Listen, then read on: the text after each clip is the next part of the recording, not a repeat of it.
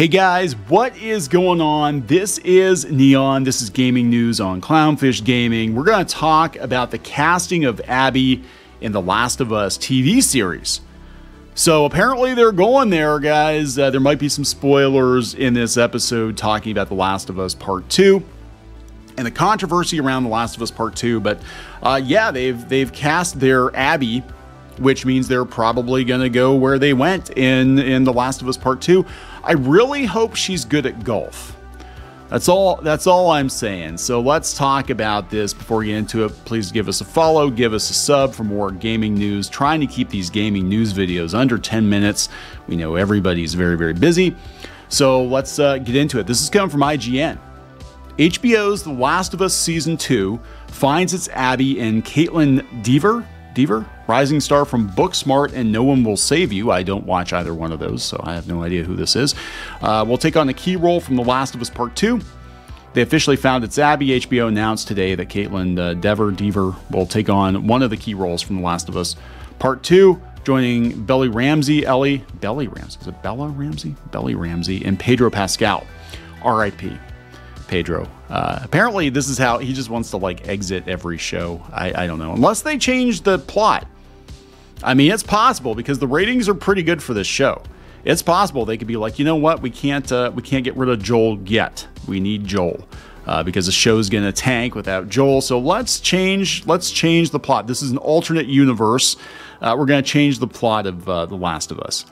Described by HBO as a skilled soldier whose black and white view of the world is challenged as she seeks vengeance for those who loved those who loved for she loved? Their man their writing is not good. Skilled soldier whose black and white view of the world is challenged as she seeks vengeance for those who loved. Okay she loved i think. A Dever will have a large role to play in season two and possibly beyond. So maybe they're going to actually flesh abby out a little bit. Abby's got lots of flesh. She's she's pretty bulky. A lot of people thought abby was trans with and I don't think she I don't think she is. I don't know. She's just pretty buff.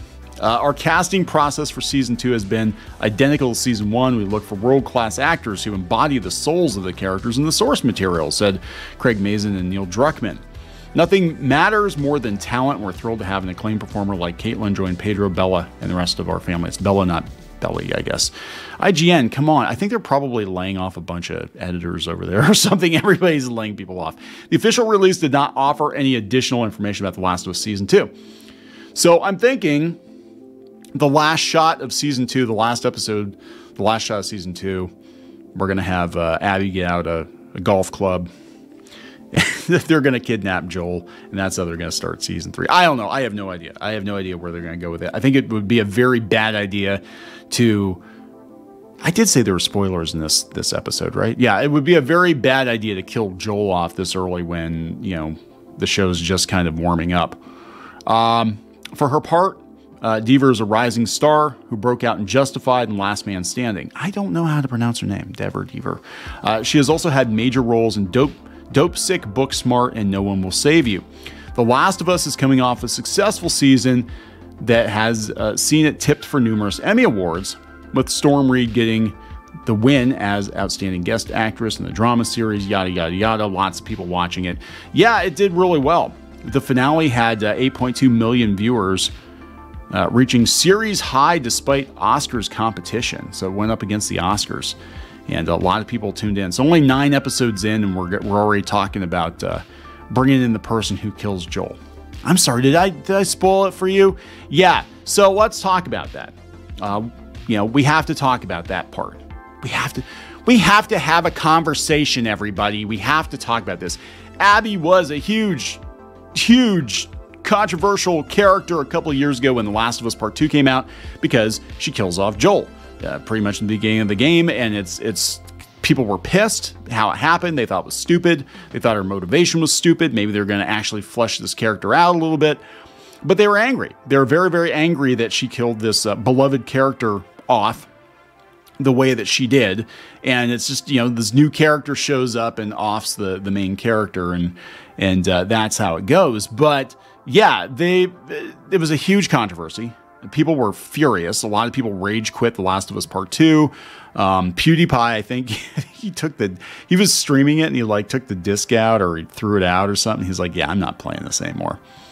Um, so Den of Geek has this article up. You know, Abby's a controversial character, first introduced in The Last of Us Part 2, and according to HBO's description, she's a skilled soldier. Uh, yeah, and a great golfer too, apparently. Uh, who is she, and what makes her so controversial? According to Den of Geek, right out of the gate, Abby kills a beloved character. It's five years after the events of the first game.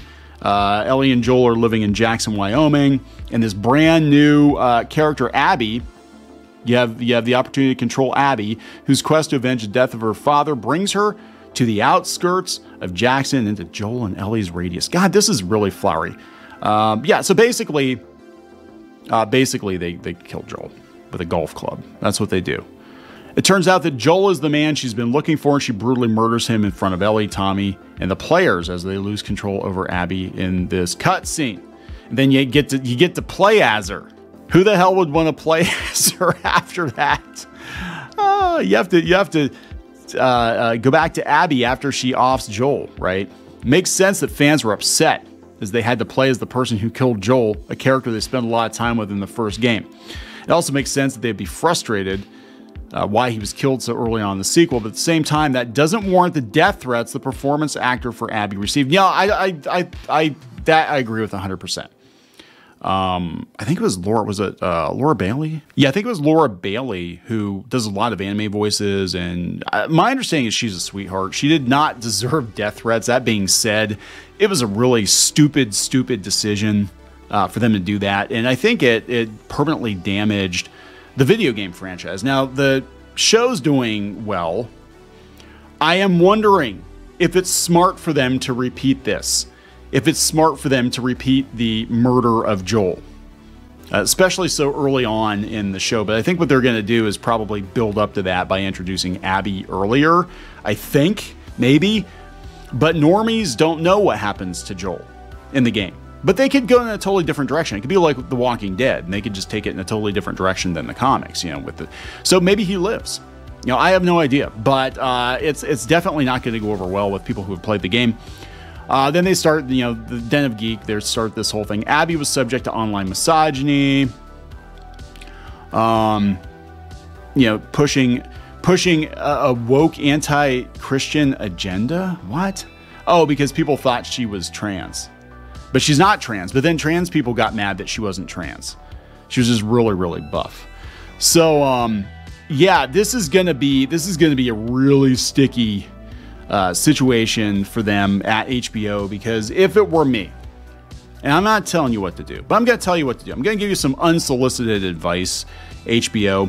Given how popular the show is, if you would like the show to remain popular, I would strongly suggest maybe rethinking some of the plot points from the game. This is one of those few times where I'm going to be like, you know what, let's deviate from the source material a little bit because that was a very, very unpopular decision. I think it's probably going to affect uh, future sales of The Last of Us uh, going forward, the video game, right?